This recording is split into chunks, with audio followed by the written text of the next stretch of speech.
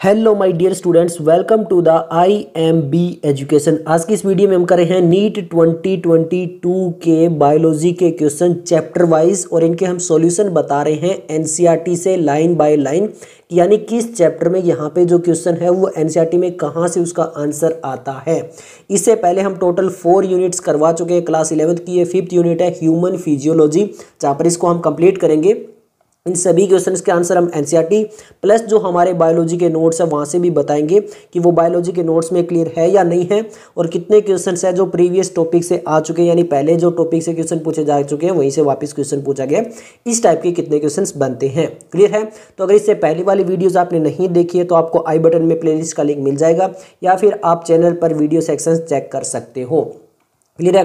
तो चलिए स्टार्ट करते हैं इस ह्यूमन फिजियोलॉजी यूनिट और सबसे पहला चैप्टर आता है यहाँ पे डाइजेशन एंड एब्जॉर्प्शन और इस सभी जो हमारे क्वेश्चंस वगैरह इनकी पीडीएफ आपको टेलीग्राम पर मिल जाएगी। डिस्क्रिप्शन में आप चेक कर सकते हो। बायोलॉजी नोट्स वगैरह की भी डिस्क्रिप्शन में लिंक मिल जाएँगे।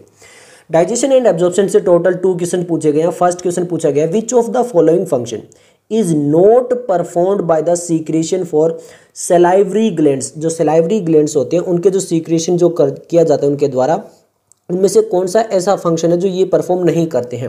पहला है डाइजेशन ऑफ़ डाइसेक्राइड सेकेंड है control bacterial population in mouth third है digestion of complex carbohydrate and D है lubrication of the oral cavity अब हम बात करते हैं ल्यूब्रिकेशन ऑफ़ ओरल कैविटी जो होता है, वो सलाइवरी ग्लैंड्स मदद करता है। उसमें सलाइवा सीक्रेट करके सी ऑप्शन देखते हैं डाइजेशन ऑफ़ कॉम्प्लेक्स कार्बोहाइड्रेट तो जो स्टार्च होता है स्टार्च आपका एक कॉम्प्लेक्स कार्बोहाइड्रेट होता है, इसको कन्वर्ट किया जाता है डाइसेक्राइड के अंदर।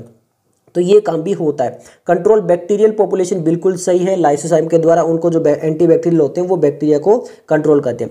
डाइजेशन ऑफ़ डाइसेक्राइड नहीं होता है। क्यों? क्योंकि जो आपका कॉम्प्लेक्स कार्बोहाइड्रेट है स्टार्च होता है स्टार्च जो है, वो डाइसेक्राइड के अंदर उसको कन्वर्ट करके छोड़ देता है। तो जो डाइसेक्राइड है, वो यहाँ पर आपके जो है, वो डाइजेस्ट नहीं हो सकते हैं। तो ये काम जो है, वो सेलाइवरी ग्लैंड नहीं करता है। डाइजेशन ऑफ़ सेक्राइड तो आंसर आ जाएगा ऑप्शन ए अब एनसीईआरटी में देख लेते हैं। काम पर मेंशन किया गया है। ओके तो फ़र्स्ट क्वेश्चन का आंसर हमें मिलेगा पेज नंबर 261 एंड 262 पर। अब हम यहाँ पे चलते हैं, यहाँ पर देखिए। The buccal cavity perform two major function mastication of food facilitation the teeth and the tongue help in the saliva mastication the food thoroughly mucus in the saliva helps in lubricating and adhering the mastication food particle अब यहाँ पर जो हमें एक option दिया गया था lubricating of ऑरल cavity तो यहाँ पर lubricating and adhering of the masticate food ये म्यूकस का काम होता है जो सलावा के अंदर था ओके क्लियर है? तो ये यहाँ से एक पॉइंट यहाँ से क्लियर हो गया। सेकेंड क्या है? यहाँ से देखिए ध्यान से। The chemical process of digestion is initiated in the oral cavity by the hydrolytic action of the carbohydrate splitting enzyme salivary amylase. तो कार्बोहाइड्रेट स्प्लिटिंग एंजाइम तो है, इसका मतलब जो कॉम्प्लेक्स कार्बोहाइड्रेट है, उसका डाइजेशन तो हो पाएगा। फॉर एग्जांपल स्टार्च हो गया। लिखा हुआ देखिए about thirty percent of starch is hydrolyse here by the enzyme in into disaccharide अब यहाँ पे देखिए स्टार्च है एसलाइवरी एमाइलेज होता है क्लियर है जो सिलाइवरी ग्लैंड्स के थ्रू सीक्रेट होता है और यहाँ पर उसके बाद में वो माल्टोज यानी डाइसेक्राइड के अंदर कन्वर्ट हो जाता है बट इसके आगे जो डाइसेक्राइड है, वो कहीं पे भी डाइजेशन का काम नहीं कर रहा है।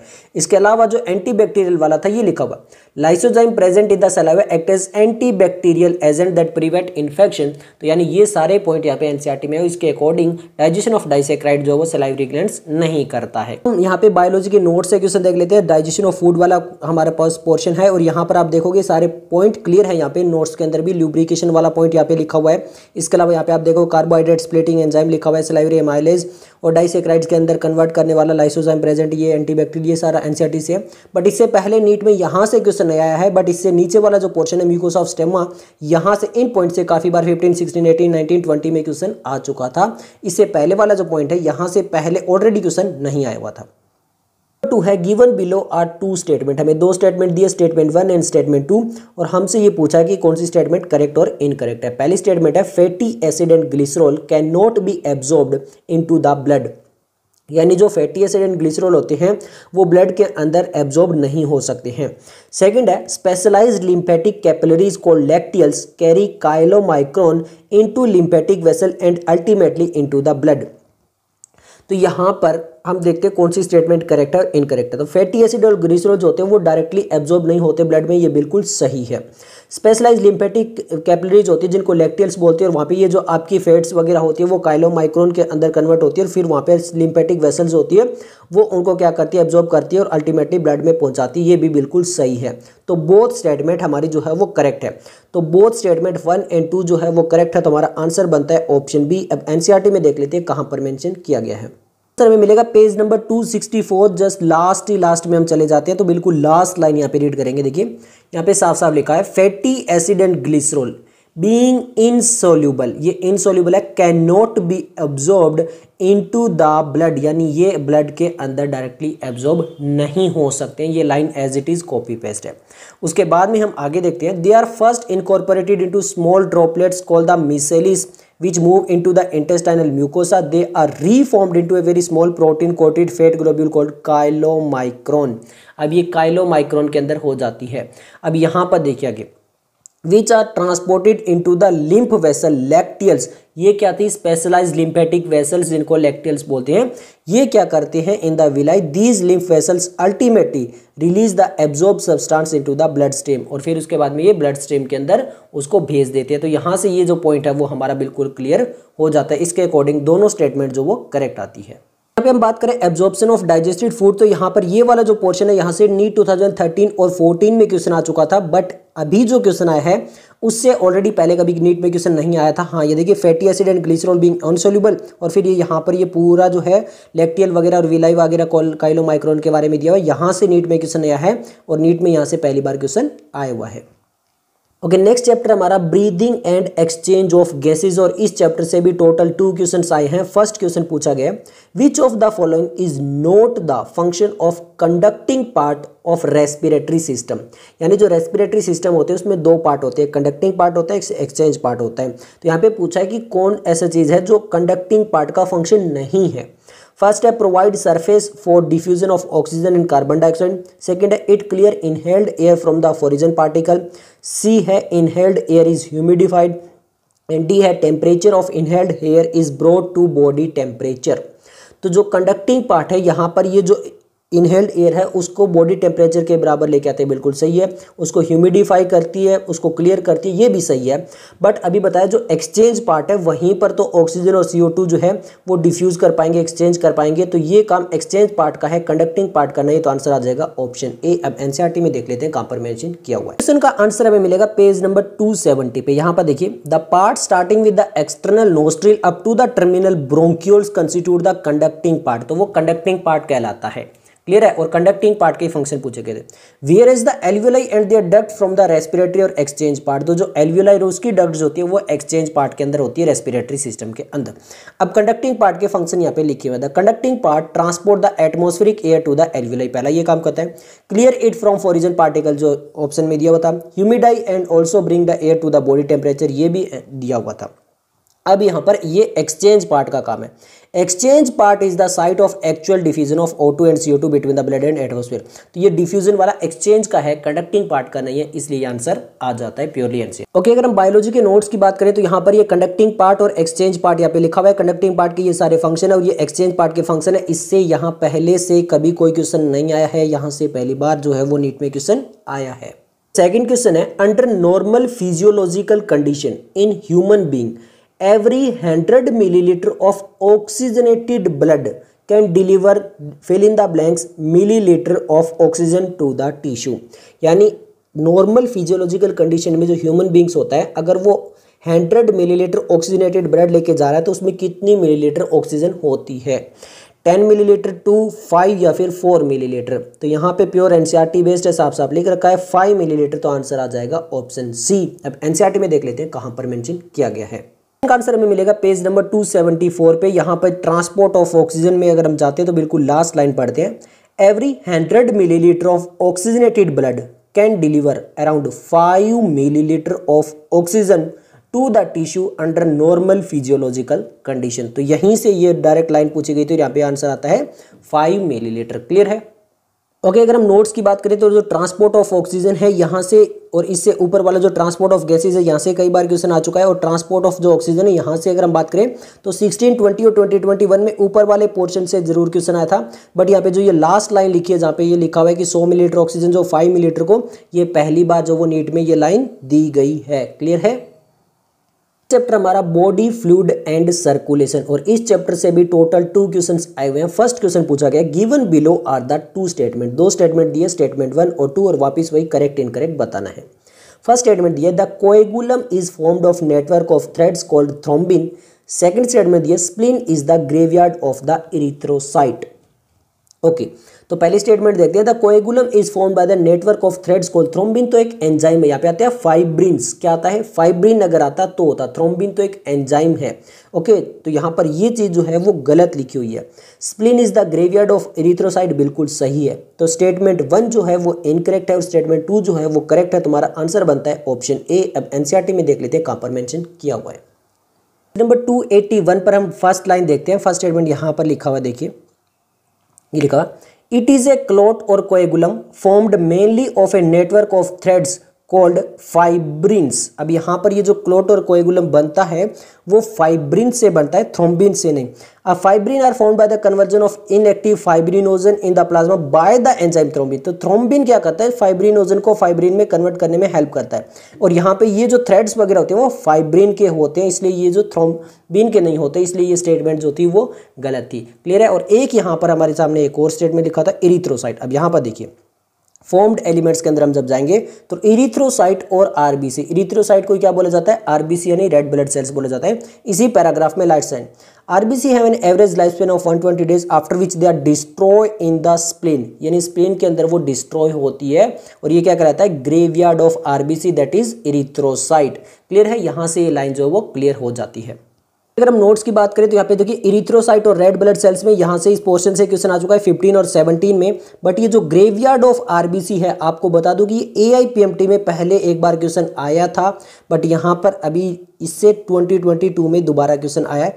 हाँ यहाँ पे जो है वो ए से क्वेश्चन आ चुका है। यहाँ पे हाईलाइटेड पोर्शन ये किया हुआ नहीं है। क्लियर है? उसके अलावा अगर हम बात करें यहाँ पर जो हमारा फाइब्रिन वाला पोर्शन था कोएगुलेशन वाला पोर्शन था तो यहाँ पर देखिए जो फाइब्रिन है inactive fibrinogen into fibrin thrombin ये वाला 2021 में क्वेश्चन आ चुका है but in a clot clotting from thread like fibrins ये हाईलाइटेड नोट्स वगैरह में किया हुआ है। इससे ऊपर वाली लाइन से पहली बार आया, इससे नीचे वाली ट्वेंटी में था, इसे अबव वाली लाइन से ट्वेंटी में आ गया।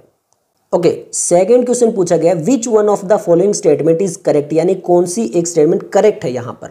फर्स्ट है increased ventricular pressure cause closing of the semilunar wall second है the atrioventricular node that is AV node generate an action potential to stimulate atrial contraction see the tricuspid and the bicuspid wall are opened due to the pressure exerted by the simultaneous contraction of the atria and D have blood moves freely from atrium to the ventricular during the joint diastole हमें ये बताना है कि कौन सी statement बिल्कुल correct है।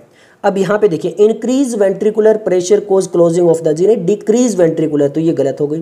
The atrio ventricular generate action जी नहीं, वो एस से नोट करता है पेसमेकर उसको बोलते हैं, ये गलत हो गया।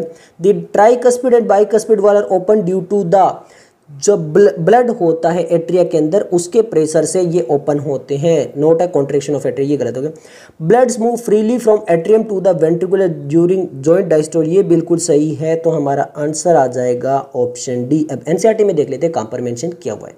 आंसर हमें मिलेगा पेज नंबर 284 पर। 284 पर हम एक एक लाइन देखते हैं। पहले तो एवी नोड जो बोला था कि वो एक्शन पोटेंशियल को जनरेट करता है, वो बिल्कुल भी नहीं है। देखिए, यहाँ पे लिखा the S A node can generate the maximum number of action potential is responsible for initiating and maintaining the rhythmic contract activity of the heart therefore is call the pacemaker तो ये एस ए नोड होता है। S A node की full form क्या है? Sinoatrial node ये वाला note एवी node तो यहाँ पे जो एक्शन पोटेंशियल को जनरेट किया जाता है, उन्होंने बोला एवी नोड वो नहीं करता है।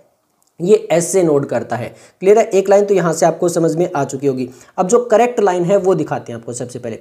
करेक्ट लाइन यहाँ पर देखिए।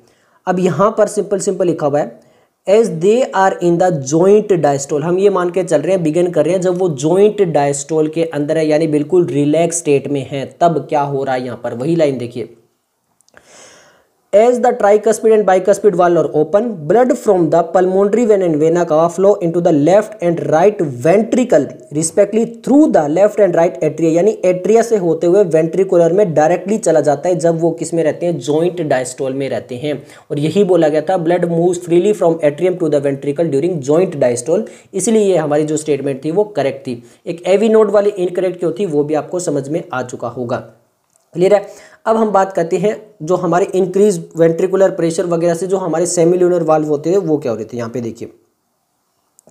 Ventricular systole increase the ventricular pressure causing the closure जब वेंट्रिकुलर प्रेशर इंक्रीज होता है ना तो यहाँ पर होता क्या? यहाँ पे बोला था कि क्लोज हो जाता है सेमिल्यूरन जी नहीं closing the tricuspid and bicuspid valves होते हैं, वो क्लोज होते हैं, जिसकी वजह से बैक फ्लो जो होता है वो एट्रिया के अंदर नहीं आता है। क्लियर है? तो यहाँ पर जो आपका ये लिखा हुआ था कि वो सेमिल्यूनर वोल क्लोज होते हैं, वो यहाँ पर नहीं होते हैं, इसकी वजह से इंक्रीज होने की वजह से। क्लियर है? पहला दूसरा पॉइंट ये देखिए यहाँ पे। As the ventricular pressure decline further, the tricuspid and bicuspid wall are pushed open by the pressure in the atria exerted by the blood which was being emptied into them the veins. तो यहाँ से ये जो fourth point है ये भी यहाँ से हमारा क्लियर हो जाता है क्लियर क्वेश्चन की बात करें कार्डियक साइकिल वाले तो जो एस ए नोड वाला पोर्शन है, यहाँ से नी 2019 में क्वेश्चन आया था, और यहाँ पर भी अगर आप देखोगे तो एंड पोटेंशियल वाले यहाँ से A I P M T two में क्वेश्चन आ चुका है। बट ये लाइन जहाँ पर ये लिखा है कि जब जॉइंट डायस्टोल के अंदर रहते हैं, और उस टाइम पे ये सब पॉइंट होता है, यहाँ से पहली बार क्वेश्चन आया है नीट के अंदर इससे पहले जो आप अगर कहीं भी देखोगे तो यहाँ से पहले, इससे पहले और कहीं से भी क्वेश्चन जो नहीं आया था। ओके नेक्स्ट हमारा chapter excretory product and their elimination इस चैप्टर से केवल वन क्वेश्चन आया और वो भी लिंक है एनिमल किंगडम के साथ में। अब क्वेश्चन पूछा गया nitrogenous waste is excreted in the form of pellet और पेस्ट बाय यानी यूरिकोटेलिक कौन से होते हैं? नाइट्रोजन वेस्ट जो है वो पैलेट और पेस्ट के फॉर्म में किसके द्वारा रिलीज़ किया जाता है? पैवो ऑर्निथो ऑर्निथोराइनस या फिर सेलमेंड्रा या फिर हिपोकैम्पस तो देखिए जो बर्ड्स एंड रेप्टाइल्स होते हैं, वो यूरिकोटेलिक होते हैं। तो यहाँ पे जो पैवो है, वो क्या है आपका बर्ड्स के अंदर आता है और ये एनिमल किंगडम में जो था, वहाँ पर भी पैवो लिखा हुआ था। अब ऑर्निथोराइनस मेमल्स के अंदर आता है आपका सेलमेंड्रा आपका किसके अंदर आता है? एम्फीबियंस के अंदर आता है। और हिप्पोकैम्पस आपका जो होता है, वो किसके अंदर आता है? बोनीफिसिस के अंदर आता है। क्लियर तो यहाँ पर जो रेप्टाइल और बर्ड्स में से पैवो जो है, वो बर्ड्स में आता है तो आंसर आ जाएगा ऑप्शन ए स्टार्ट होता है यहाँ पे excretory product and their elimination यहीं पे लास्ट लाइन में लिखा हुआ है, देखिए। ध्यान से देखिए रेप्टाइल्स कौन कौन से? Reptiles birds and land snails and insect excrete nitrogen waste as uric acid in the form of pellet और पेस्ट यही तो बोला गया था in the form of pellet और paste with the minimum loss of water is called uricotelic अब जो reptiles birds and land snails है, इनके जो एग्ज़ाम्पल दिए गए थे, वो एनिमल किंगडम से दिए गए थे, वो भी आपको दिखा देते हैं। तो ये रहे एनिमल किंगडम के एग्ज़ाम्पल आपके सामने। यहाँ पे देखिए क्लास ओस्टियो जो है, ये आता है और यहाँ पे आपको दिखाई देगा हिप्पोकैम्पस सी हॉर्स जिसको बोलते हैं। यहाँ पे डायग्राम तक भी दिया हुआ है। क्लियर है? उसके बाद में एम्फीबिया के अंदर आपको यहाँ पे देखिए डायग्राम भी दिया है सेलमेंड्रा का और यहाँ पे लिखा भी है सेलमेंड्र क्लियर है? और उसके बाद में अगर हम बात करें, यहाँ पर रेप्टाइल्स का कोई एग्ज़ाम्पल लेता है एवीज का एग्ज़ाम्पल था, जिसको हम बोलते हैं बर्ड्स अब बर्ड्स में यहाँ पर आपको एग्ज़ाम्पल दिखाई दे जाएगा किसका? पेवो का, जिसको हम पिकॉक भी बोलते हैं। और यहाँ पर ये डी डायग्राम भी दिया हुआ है।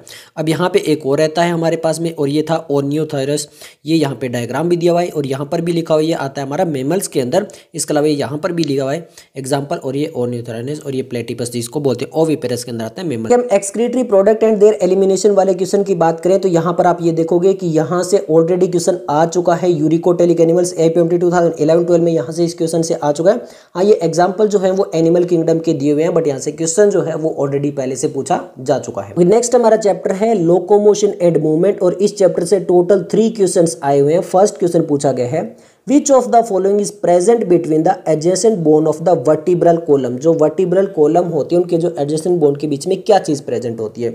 स्मूथ मसल्स इंटरकैलेटेड डिस्क या फिर कार्टिलेज या फिर एरियोलर टिश्यू तो यहाँ पर इनके बीच में क्या होती है, जो एडजेसेंट बोन्स होती है वर्टिब्रल कॉलम के बीच में, उनमें होती है कार्टिलेज प्रेजेंट होती है। ये कार्टिलेज जॉइंट्स की बात कर रहे हैं तो आंसर आ जाएगा ऑप्शन सी एबेंसियाटी में देख लेते हैं कहाँ पर दिया हुआ है। चैप्टर से जो थ्री क्वेश्चन पूछे गए सभी के सभी क्वेश्चन इसी पेज नंबर से पूछे गए थ्री वन फोर यहाँ पे कार्टिलेजिनस जॉइंट की बात करते हैं, यहाँ पर लिखा हुआ देखिए। Cartilaginous joint the bones involve are joint together with the help of cartilage यानी यहाँ पर इनके बीच में कार्टिलेज होगा। The joint between the adjacent vertebra in the vertebral column is of the pattern and it permit limited movement जो adjacent vertebrate है इनके बीच में जो ज्वाइंट होता है, वहाँ पे क्या मिलेगा? हमें कार्टिलेज मिलेंगे। इसीलिए हमारा आंसर आ गया था। लेते हैं। जॉइंट्स में से अगर आप पोर्शन देखोगे फाइब्रस जॉइंट कार्टिलेजिनस जॉइंट और ये साइनोवियल जॉइंट वगैरह तो ये काफ़ी इंपॉर्टेंट है क्योंकि 2009 फिर 13 14 17 19 और 2021 में यहाँ से क्वेश्चन आ चुका है। कार्टिलेजिनस वाला हाईलाइटेड किया हुआ है। यहाँ से ये क्वेश्चन आया। क्वेश्चन पूछा गया which of the following is a correct match for the disease and symptom यानी डिज़ीज़ और सिम्टम में कौन सा करेक्ट मैच है। बाकी सभी इनकरेक्ट है, एक ही करेक्ट हो सकता है। फ़र्स्ट है मस्कुलर डिस्ट्रोपी ये बोला गया कि एक एटो इम्यूनो डिसऑर्डर है, जहाँ पे progressive degeneration of skeletal muscles होता है। सेकंड में अथराइटिस बोला गया बोला गया कि यहाँ पे इन्फ्लेम्ड जॉइंट्स होते हैं। सी टेटनी बोला गया कि यहाँ पे हाई कैल्शियम आयन की वजह से यहाँ पे रैपिड स्पेम होती है। और माइस्थेनिया ग्रेविस में बोला गया कि एक जेनेटिक डिसऑर्डर जिसकी वजह से जो स्केलेटल मसल्स होती है, उनमें वीकनेस और पैरालिसिस हो जाती है। सबसे पहले बात करते हैं मस्कुलर डिस्ट्रॉफी। ये आपकी जेनेटिक डिसऑर्डर है और मस्तेनिया ग्रेविस आपकी ऑटोइम्यून डिसऑर्डर है। तो ये दोनों यहाँ पर इस टाइप से गलत हो गए। बाकी आगे जो चीज़ लिखी हुई है, वो बिल्कुल सही लिखी हुई है इनके लिए। क्लियर है? बट ये ऑटो इम्यूनो जेनेटिक डिसऑर्डर यहाँ पे एक्सचेंज कर दिया। टेटनी के अंदर लो कैल्शियम आयन जब होता है, तब ये चीज़ होती है हाई पे नहीं होती है एल्थराइटिस के अंदर इन्फ्लेम जॉइंट होता है। यही केवल सही लिखा है तो आंसर आ जाएगा option B okay second question में डिसऑर्डर से पूछे गए थे। चारों पहले वाले चारों डिसऑर्डर को लिया गया था। पहला देखिए माइस्थेनियस ग्रेविस अब माइस्थेनियस ग्रेविस के अंदर वहाँ पर बोला गया था जेनेटिक डिसऑर्डर बट ये क्या है? ऑटो इम्यून डिसऑर्डर है। आगे से लिखा था affecting neuromuscular junction leading to fatigue वीडिक्स and paralysis of skeletal muscle जबकि जो मस्कुलर डिस्ट्रॉफी है, वहाँ पर लिखा गया था कि ये आपका ऑटो इम्यून बट ये नहीं है। Progressive genus of degeneration of skeletal muscle mostly due to the genetic disorder ये जेनेटिक डिसऑर्डर है। तो ये चीज़ वहाँ पे चेंज कर दी गई थी। अब देखिए tetany rapid spasm wild contraction muscle due to the low calcium in the body fluid और वहाँ पे क्या बोला गया था कि हाई कैल्शियम की वजह से होता है ऐसा भी गलत है। अब अर्थराइटिस में इन्फ्लामेशन ऑफ़ जॉइंट बिल्कुल सही था, इसलिए हमारा आंसर आ जाता है। क्वेश्चन की बात करें तो disorder of muscular and skeletal system ये वाला पूरा पोर्शन काफ़ी इंपॉर्टेंट है सभी पोर्शन इंपॉर्टेंट है क्योंकि देखो 12 में फिर उसके बाद में 13, 16, 19, 20 और 2021 और इसके बाद में 2022 यानी लास्ट फोर ईयर से तो कंटिन्यू यहाँ से क्वेश्चन आए और यहाँ पे लिख भी रखा है ऑल आर इंपॉर्टेंट और ये साफ़ साफ़ बता दिया यहाँ पे फ़र्स्ट सेकेंड थर्ड फोर्थ से क्वेश्चन आए हुए हैं। क्लियर है थर्ड क्वेश्चन यहाँ पे इस चैप्टर से एसेसन रीजन पूछा गया है। Given below the two statement one label is assertion and other is label is reason तो एसेसन में बोला गया osteoporosis is characterised by the decrease bone mass and increase chance of fracture reason दिया गया common cause of osteoporosis is increase level of the estrogen अब assertion reason में पहले तो ये देख लेनी चाहिए कि दोनों स्टेटमेंट सही है या नहीं है। तो osteoporosis is characterised by decrease bone mass and increase chance of fracture बिल्कुल सही है। अब ओस्टियोपोरोसिस का कॉमन रीजन क्या हो सकता है? यहाँ पे decrease level of estrogen not increase तो ये गलत हो गया। अब ए तो सही है हमारा और आर जो है वो इनकरेक्ट लिखा हुआ है। तो A correct but R is in not correct तो हमारा आंसर बनता है ऑप्शन डी अब एनसीआरटी में देख लेते हैं, कहाँ पर मेंशन किया हुआ है। ओके थर्ड क्वेश्चन भी हमारा बिल्कुल इससे नीचे वाले डिसऑर्डर से ले लिया था ओस्टियोपोरोसिस यहाँ पर देखिए, ये लाइन लिखी गई थी अब एज रिलेटेड डिसऑर्डर होता है characterised by decrease bone mass and increase chance of fracture ये लाइन जो है वो ली गई थी, बिल्कुल सही है, वो एस में ली गई थी।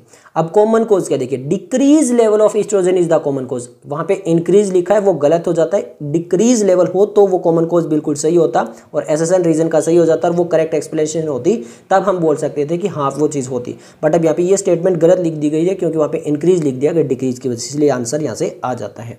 ये तो हमने अभी आपको बताया था कि यहाँ पे जो ये चारों पॉइंट है, ये काफ़ी इंपॉर्टेंट है। इसके अलावा ओस्टियोपोरोसिस ये इंपॉर्टेंट है और आपको पता भी है कि लास्ट थ्री ईयर से कंटिन्यू यहाँ से क्वेश्चन आ रहे हैं। तो यहाँ पे तीनों क्वेश्चन जो थे, वो वहाँ से ऑलरेडी क्वेश्चन आ चुका है।